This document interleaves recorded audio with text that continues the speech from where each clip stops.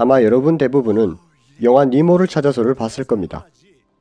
주황색의 흰색 줄무늬를 가진 아빠 물고기가 천적에게 한 개의 알을 제외한 모든 알을 잃어버렸고 아내도 잃게 되죠. 그래서 아빠 말린만이 나머지 한 알인 니모를 애지중지 키웁니다. 그러다가 니모가 인간에게 납치되고 말린이 찾아 나서는 이야기이죠. 부모가 잃어버린 아이를 찾아 나서는데 우리가 감정이입이 되는 사이 두 가지 놀라운 과학적 사실이 간과되었습니다. 그 첫 번째 사실로는 니모의 아빠 말린은 트랜스젠더라는 것입니다. 니모와 말린의 실제 종 이름은 clownfish 또는 흰동가리입니다. 보통 수컷 형태로 태어난 흰동가리들은 번식기가 될 때 개체 중 큰 물고기들이 암컷으로 변신합니다. 그리고 짝짓기를 하고 말미잘 속에서 알을 낳고 안정된 생활을 하죠. 그러나 암컷이 죽으면 수컷 중 서열 1위가 암컷으로 변합니다.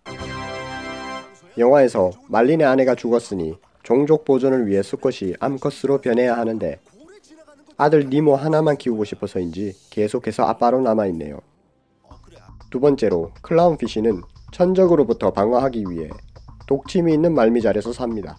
가끔 큰 물고기를 유인해서 말미잘에게 먹이가 되도록 하며 공생관계를 유지하는데 말미잘이 없는 곳으로 나아가는 것은 그냥 죽겠다는 뜻이죠. 하지만 니모 아빠 말리는 바다 이곳저곳을 헤집고 다닙니다. 디즈니 시나리오 작가분들이 이런 생태습성을 모른 채 작업한 것일까요? 그렇진 않을 겁니다. 그만큼 부성애가 강한 아빠였고 부모라는 또 다른 책임감 있는 존재가 된 관람객들에게 부모의 역할을 일깨워주며 각자의 위치에서 살아가는 방법에 대해 알려준 것은 아닐까 생각해 봅니다.